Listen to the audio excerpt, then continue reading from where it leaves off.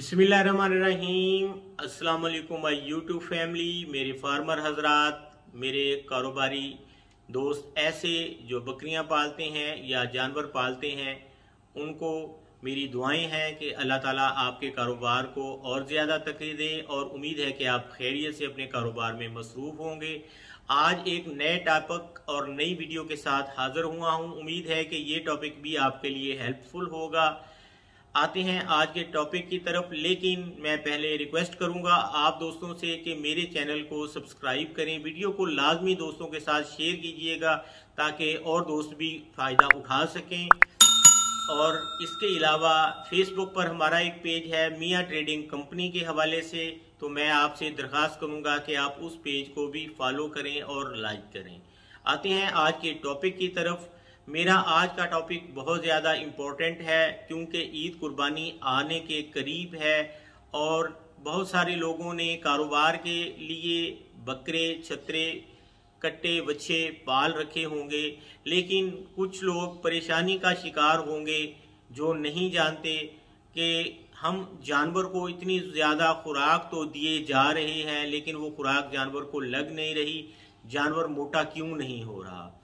तो आज की वीडियो में हम ये फैक्ट्स डिस्कस करेंगे कि कौन से अवामिल हैं जो जानवर को मोटा नहीं होने देते और कौन से मामलात हैं जो हमारी कोताही की वजह से जानवर की ग्रोथ में परेशानी और रुकावट का बायस बनते हैं। तो सबसे पहले हम डिस्कस करेंगे कि हमारा जानवर बहुत ज़्यादा चारा खाने के बावजूद उसका पेट लटका हुआ होता है और हड्डियाँ नज़र आ रही होती हैं।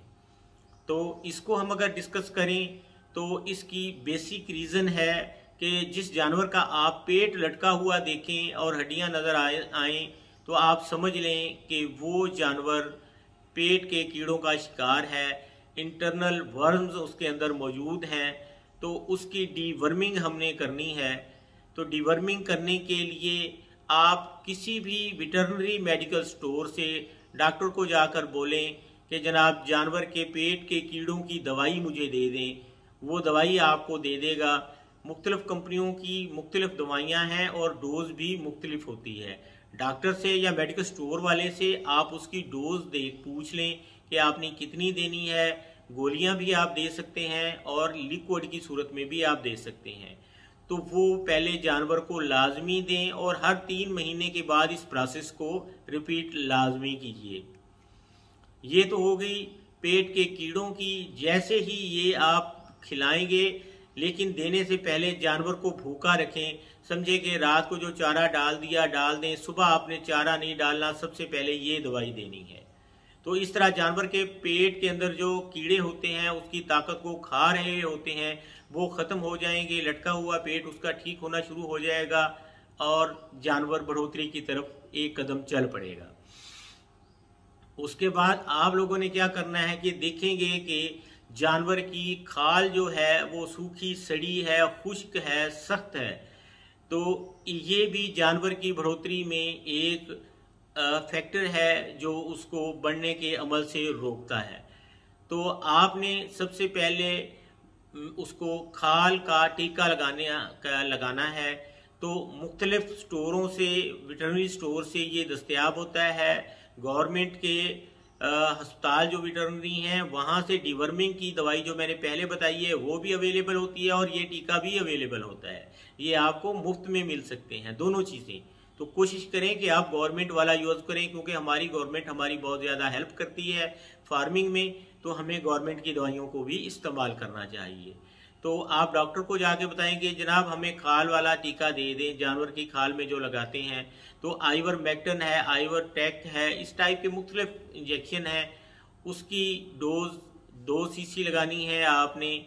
आपने जानवर के चमड़े को इस तरह हाथ से, उंगली से पकड़ के खींच लेना है और फिर छोटी सुई लगा के सरिंज में और डालनी है, यानी उसके चमड़े के अंदर जाए, जानवर के गोश्त के अंदर ना जाए।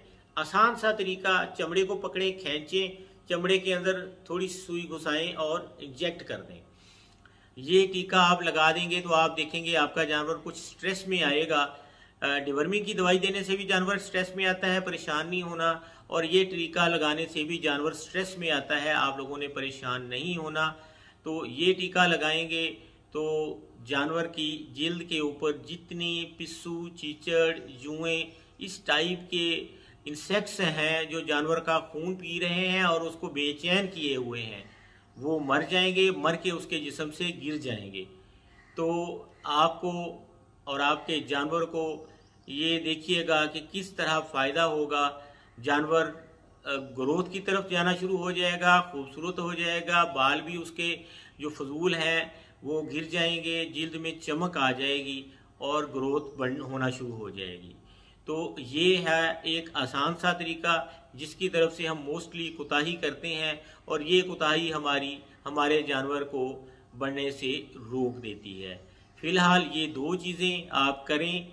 मज़ीद कुछ फैक्टर्स हैं, वो अगली वीडियो में आप लोगों को बताऊँगा। अगली वीडियो का इंतज़ार कीजिए। इस वीडियो को लाइक शेयर और इस पर अच्छे से कमेंट्स भी लाजमी दीजिए। उम्मीद है कि ये आपको पसंद आएगी। और दोस्तों को भी फॉरवर्ड कीजिए। मुझे दुआओं में याद रखिए। अल्लाह हाफिज़।